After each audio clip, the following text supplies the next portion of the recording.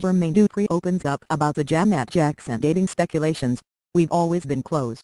Rumor has it that following her ugly divorce, Janet Jackson found love again.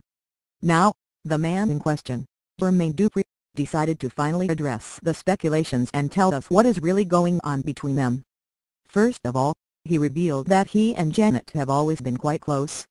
I never knew us not to be friends.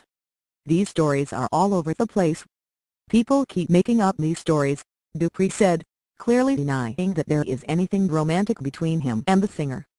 Back in December, eyewitnesses apparently saw the two holding hands and cuddling in the VIP section of a restaurant. Ever since then, rumors that they might be dating started floating around.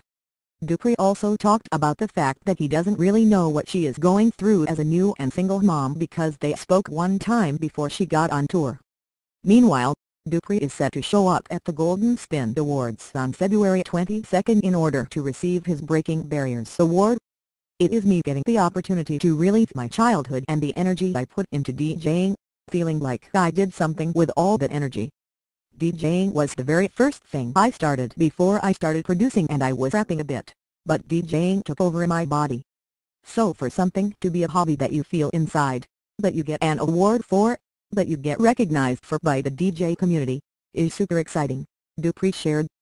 Are you disappointed to learn that there is nothing but friendship between Jackson and Dupri?